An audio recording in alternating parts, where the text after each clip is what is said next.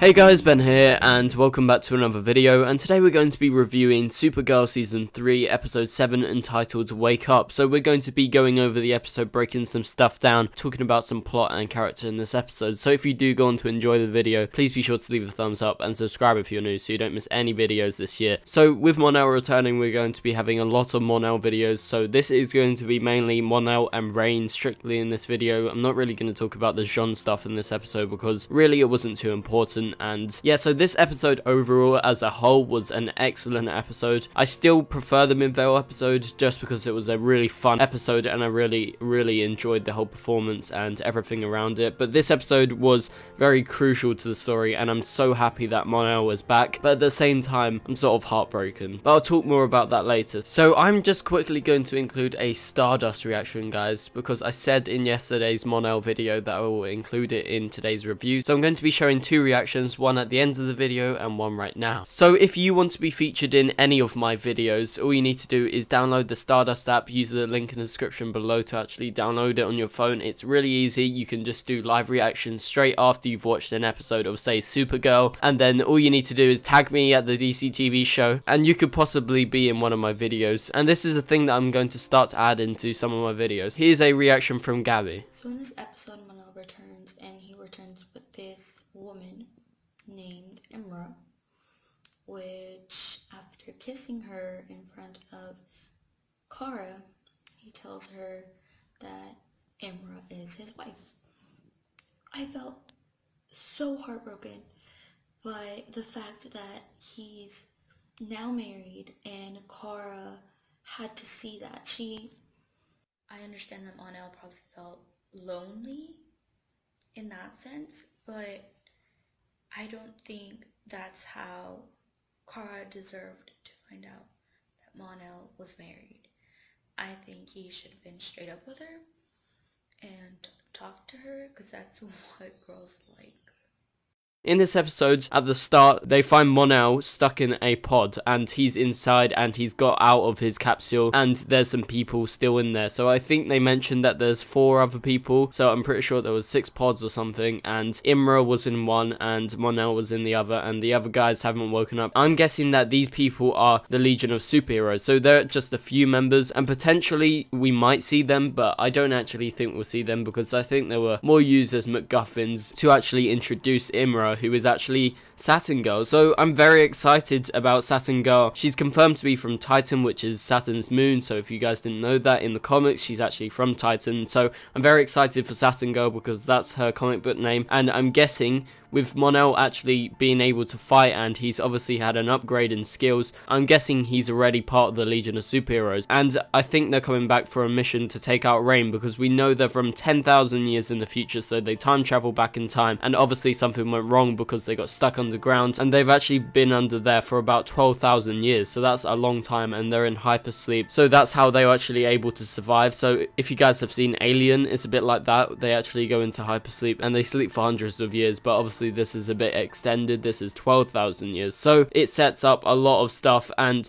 also in this episode we get a lot of Reign stuff. I really enjoyed the Reign part of this episode because we got to meet her stepmom. We got to find out that she's actually from Krypton. So we actually sort of knew it, but we never actually got told face to face. And Samantha actually got told in this episode that she's actually from Krypton. So she was found in the pod that we saw at the end of season 2. So she finds out that she's actually a world killer. She's like, I have powers. Am I a superhero? And then one of her makers actually tells her that no, you're going to be known as a world killer and you are called Reign. So you were supposed to turn into this Reign villain a long time ago and reign supreme on whatever planet you actually landed on. So it was actually delayed by her actually being able to have offspring and that offspring obviously is Kryptonian and probably part human. So I'm guessing Ruby is going to play into her story somehow later in the season, just due to the fact that she's half Kryptonian and half human. So I don't know how they're actually going to explain Ruby, but I'm very intrigued as to her reaction to finding out that her mum is actually going to be this really evil villain. And at the end of the episode, we see that Samantha actually turns into Reign and she starts speaking Kryptonian, and her eyes actually turn red. So it seems like she's going to be very sinister, and I think she's going to be the best Supergirl villain that we've had to this day. And to be honest, she is the best big bad of all the DC TV shows right now, I would say, and she looks like a very promising villain, much more than say the Thinker or anyone. So she looks very sinister. So moving on to some more Mon-El stuff. So obviously Mon-El returns and it's revealed that he can speak Saturnian, or at least he can speak a little bit. And throughout the episode, there's hints that Saturn Girl is actually going to be coming if you connect the dots and stuff, with Mon-El actually speaking Saturnian, and with him not actually wanting to be straight back with Kara, because if he literally went to space and he came back as his normal self, he would actually really want to be back with Kara. So that was probably the biggest hint that we actually got that he's not himself. And by the end of the episode, Kara actually realizes that Mon-El is changed and it's revealed that he was actually in the 31st century for seven years. So they actually made that time period a long enough time to actually make it viable that he would actually have a wife, and it turns out that Imra is actually married to him. But one thing I have to mention, and I'm going to do a separate video for this, is Imra and Mon-El aren't wearing rings. Like, it's a bit weird and Amy Jackson the actor for Imra actually commented on it. I'll have a picture on the screen right now of what she said. She said that there's a lot of stuff to come and it will be explained so she's sorry that Karamel is not together right now but it seems like they're taking the long journey back to Karamel coming back. And just because he's married doesn't mean they're actually not going to come back. Remember it's the CW anything can happen to do with relationships. So when Imra actually meets Supergirl for the first time she speaks to Supergirl as if she is some sort of legend. So remember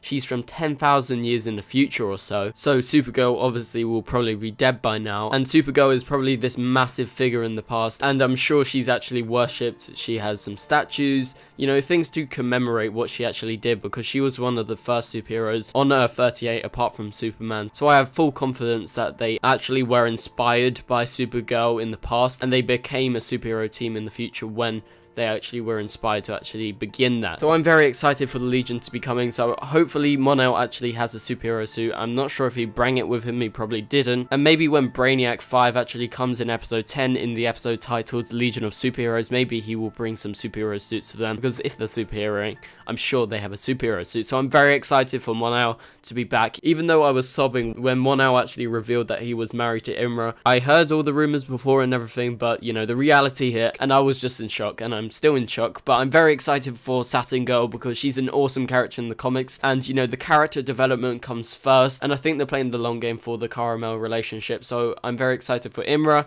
Mon-El and Reign looks so promising. She definitely looks like a very menacing villain and Odette Annable does an awesome job playing Samantha. She's going to be an awesome villain when she's actually playing Reign. So here is the last reaction on Stardust. I hate life. Um, so Mon-El has a wife. Um, no, the only wife he deserves to have is the only wife he can have is Kara.